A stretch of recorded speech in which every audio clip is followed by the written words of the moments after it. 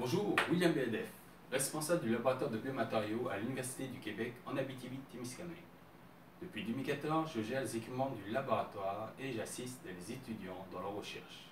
L'équipe dont je fais partie travaille beaucoup avec les composites, bois plastique et les produits en bois.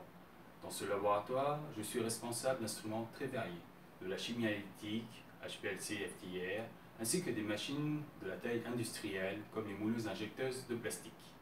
Au total, je dois faire fonctionner pour plus de 2 millions de dollars d'équipement. Si vous pensez que le laboratoire peut vous aider par son champ d'expertise ou par ses différents instruments et équipements, n'hésitez pas à contacter un membre de l'équipe du laboratoire ou nous contacter. À bientôt